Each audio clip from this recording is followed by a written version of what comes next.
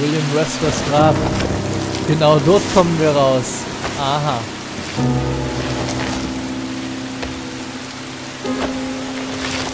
So viel zum Thema, er muss hier liegen.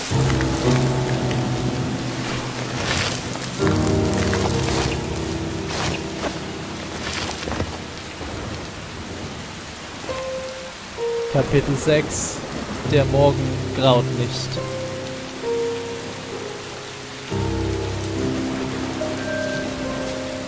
Wieder draußen.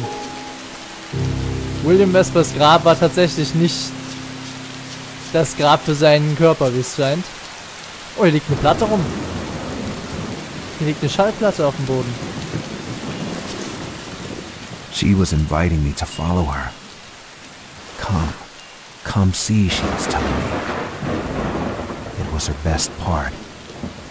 A victim who plays her role to cheat death. But she wasn't deceiving anyone. And me, even less. Was?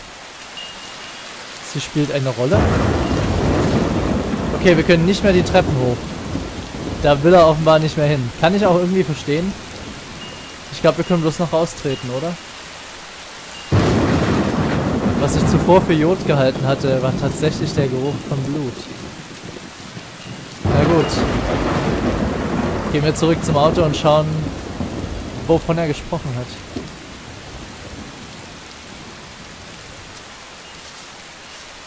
Sieht aus, als ob er langsam wahnsinnig wird, habe ich das Gefühl.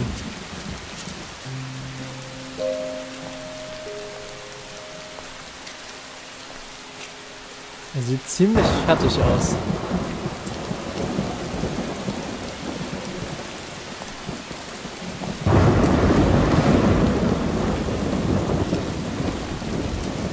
Und die Spur geht weiter.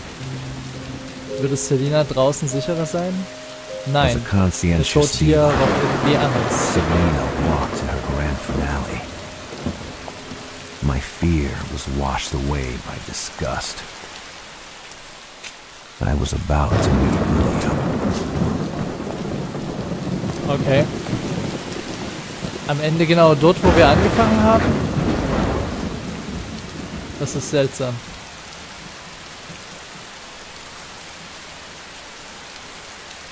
Okay. Ich mache mir mal ein Licht, damit wir was sehen. Ah, okay. Die Streichhölzer waren glitschnass. Es musste ohne sie gehen. Ich war wieder am Anfang angekommen. Vor einem Leben.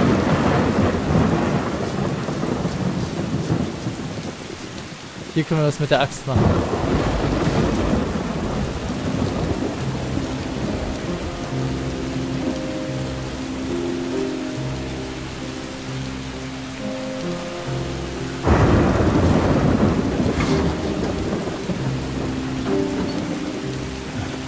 Ich habe gerade eine schlimme Befürchtung. Keine Ahnung, ob sich die bewahrheiten wird.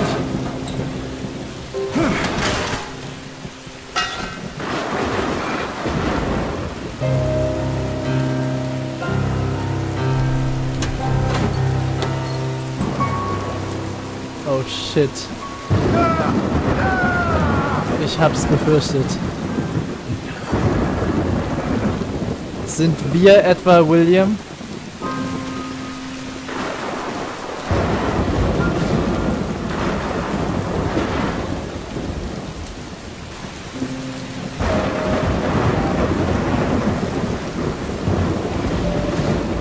And so it was me. And I had killed her. I had killed the only beautiful thing in the world. The only one which could save me. I'm sorry. It was me all along, Selena.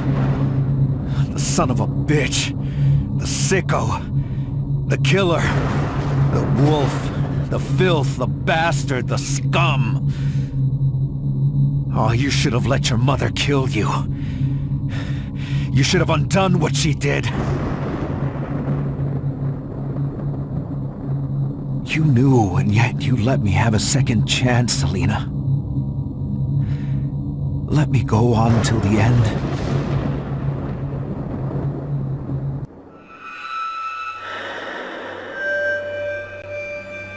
Oh, fuck. The memories of what I had done were coming back slowly. Like the tide washing ashore the rotten corpses from a wreck. Selena was lighter than a pillow. The real weight was all those years of filth stored in my memory. Images the blade I sunk deep into the stomach of my own mother. Those dark-haired women. Those hated clones of Margaret, split from head to toe as a sacrifice to the moon. Their organs displayed carefully, like some child fresco. Selena on the stage of smoke and mirrors the glass I used to toast with her. The first time we talked. Her tears. The letters in which she told me about losing her kid. How her husband had been murdered. And our kiss. The blade I used to stab her. My father and the father of my mother died from the same madness The same poison that men injected into the economic system they had created. On October 29th, 1929, millions of casualties, the scent of blood, and for the wolves, the beginning of the hunt.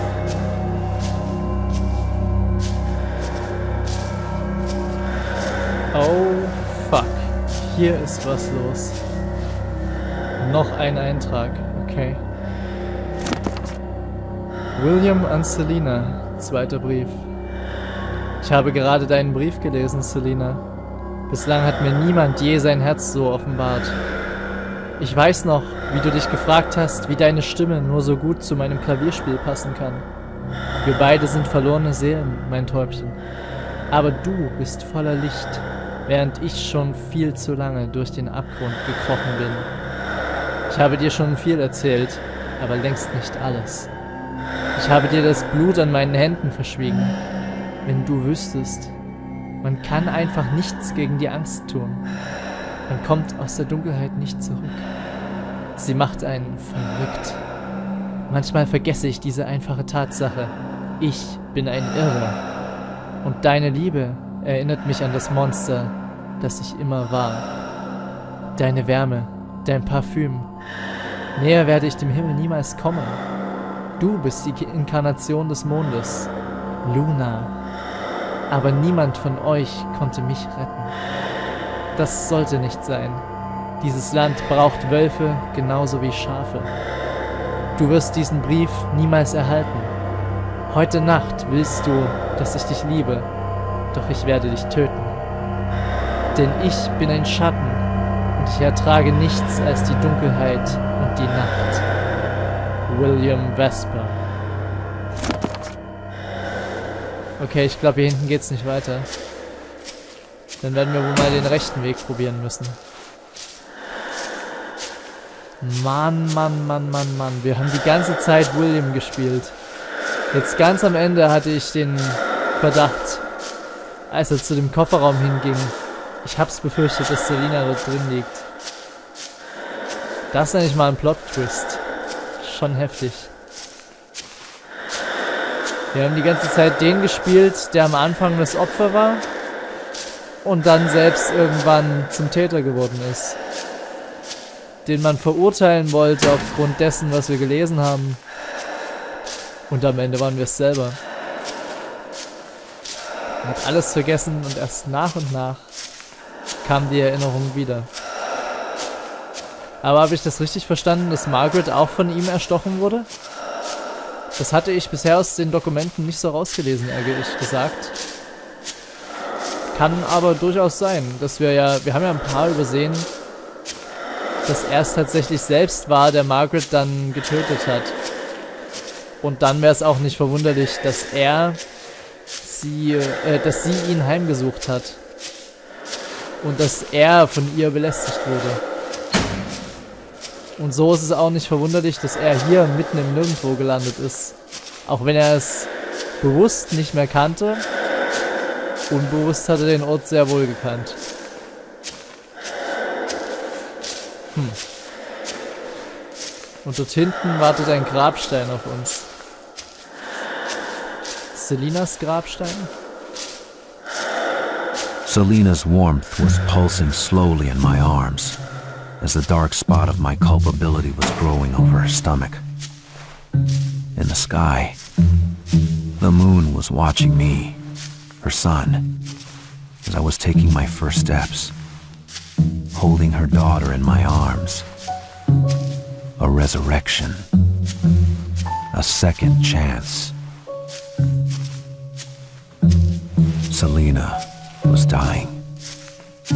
I could tell from her body, tightly pressed against me. At times, her eyes would open and stare at me. Not a hint of anger or accusation. She could have let go. Let her light pass. Let my mother take me back. But she was protecting me. Hat ja alles vergeben. The moon was silently watching us as we made our last push through the night. Soon, dawn would come. The sun would wash away all that ink which had condemned us. Goodbye, Luna. Goodbye, Mother. This night had been too long already. Ist Selina denn in irgendeiner Weise eine Verkörperung seiner Mutter? Wer weiß. Aber jetzt müssen wir Selina wohl begraben. I went as far as I could. Selena, the one who would give me everything life had left her, was fading away, despite my efforts to hold on to her light.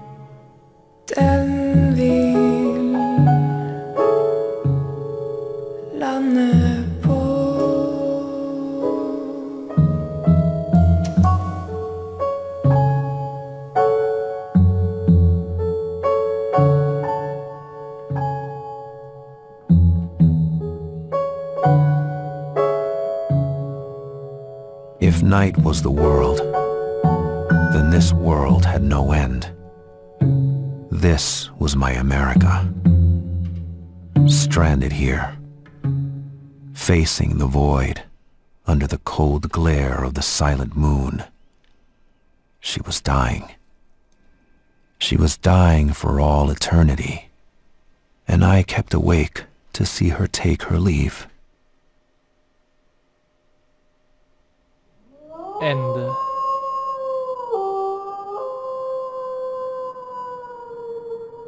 In memory of my brother Vincent Koifek. To my father Domenico. Und damit endet White Knight mit einem ziemlichen Paukenschlag, finde ich. Ein ziemlich kurzes Spiel, aber richtig gut gemacht, finde ich.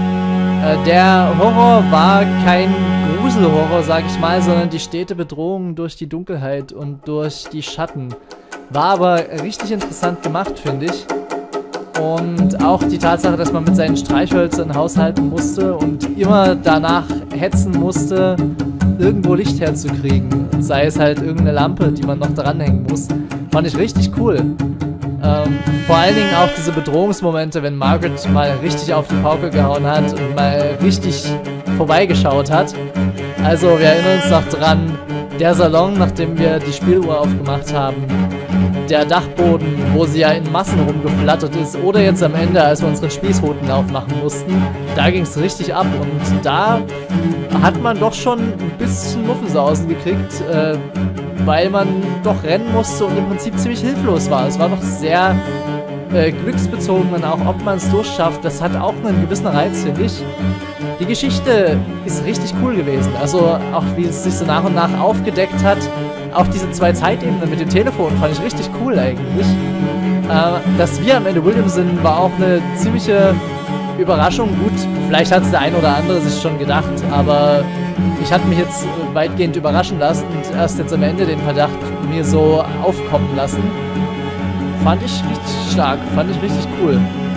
Ich habe nicht ganz verstanden, was es am Ende damit auf sich hatte, dass äh, er von seiner Mutter immer gesprochen hat, dass er auch sie beerdigt.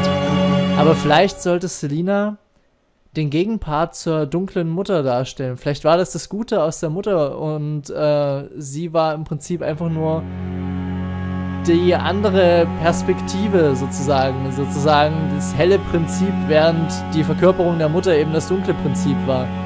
Und sie waren letztendlich eins vielleicht. Keine Ahnung.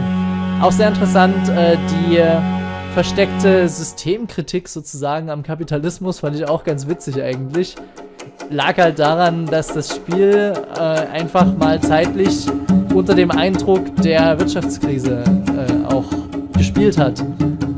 Und da macht es natürlich Sinn, dass immer wieder Bezüge darauf genommen werden. Ja, also ich kann eigentlich nur sagen, das ist richtig gut gelungen, das Spiel. Man muss natürlich, wenn man die komplette Story aufdecken will, sehr viel lesen und sehr gründlich suchen. Selbst ich habe ja jetzt, obwohl ich ziemlich viel wirklich geguckt habe, nicht alles gefunden. Da sind noch einige Schriftstücke liegen geblieben, die vielleicht noch ein bisschen mehr für Aufklärung gesorgt hätten. Aber durch diese Fülle an Schriftstücken äh, versetzt man sich auch in die wenigen äh, Handelnden, die es hier überhaupt gibt in dieser ganzen Geschichte. Es waren eigentlich nur vier Stück. William, Henry, Margaret und Selina. Auch richtig hinein. Auch Margaret konnte man irgendwo verstehen, dass sie so verbittert war. Äh, konnte es ein bisschen nachvollziehen. Und äh, ja, also ich fand es richtig gut gemacht. Und dass wir am Ende noch William sind, war halt noch so das Sahnehäubchen, sage ich mal. Das hat ziemlich gut gepasst, finde ich. Ein Happy End gab es nicht. Ganz und gar nicht. Ich frage mich auch, was William jetzt tut, nachdem er festgestellt hat, oh shit, ich war der Psycho, der das alles gemacht hat. Nachdem er nun sozusagen, offenbar hatte er das Gedächtnis verloren, die Einsicht hatte, dass er ein ziemlicher Psycho war, aber mal kurzzeitig eine andere Perspektive eingenommen hat, sozusagen, als er es nicht wusste. Ich weiß nicht, ob ihn das jetzt die Möglichkeit gibt, irgendwie rauszukommen aus dem Ganzen oder dass es tatsächlich so ist, wie er jetzt am Ende gesagt hat, dass er die Einsicht gewonnen hat, ich gehöre zur Dunkelheit und ich werde niemals rauskommen. Und dass er weiterhin als Killer umherstreifen wird. Kann auch sein. Ziemlich düstere Geschichte, die da gemalt wurde. Aber echt gutes Ding. Also das Spiel ist ein echt gutes Werk, gefällt mir richtig gut. Und äh, ja, also ich würde sagen, ich behalte Awesome Studio auf jeden Fall im Auge, wenn die mal wieder was rausbringen. Denn das war wirklich, hat mir sehr gut gefallen. Davon gern mehr. Ich hoffe, euch hat es genauso gut gefallen. Ähm, wir sehen uns bei einem anderen Projekt wieder. Mal sehen, was als nächstes kommt. Ich habe noch keine Ahnung, ehrlich gesagt. Muss ich mal schauen. Äh, bis dahin, macht's gut, haut rein und habt weiterhin Spaß bei allem, was ihr tut. Keine Ahnung. Also, bis bald.